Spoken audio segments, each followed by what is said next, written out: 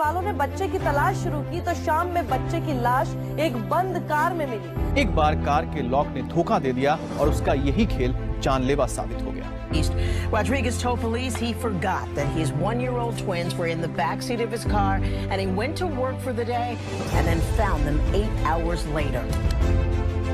अगर आपके पास सेंट्रल लॉक वाली कार है तो ये खबर देखना आपके लिए बेहद ज़रूरी है कैसे सेंट्रल लॉक में दो मासूम बच्चों की जान इंदौर से इस वक्त एक बड़ी खबर है जहाँ पर कार में दम घुटने से तीन बच्चों की मौत हो गई है एक भाई और दो बहनों की मौत हुई What you just saw is deadly serious and it's termed as hot car deaths, where a child is trapped inside a packed car and dies due to suffocation. Of course, it's a big problem, but where's the solution? Where there's a will, there's a way. And that's how we came up with the project Mission Protector.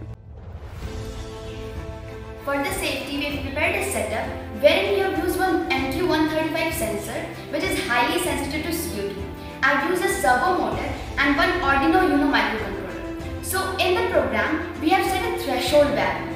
Now this sensor, what it does is it basically senses the level of CO2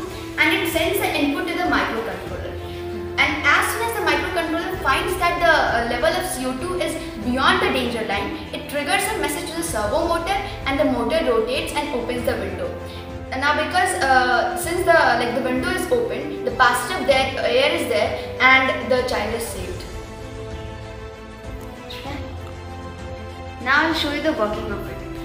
So here we are using give it some CO2. Now here's the sensor and I'm giving it CO2 and you'll uh, see that as soon as the level will cross the threshold value, the window has opened and this is how the child will be saved. and this is a project. There are innumerable problems out there in the world. The only thing which you need is innovation, and you can do anything.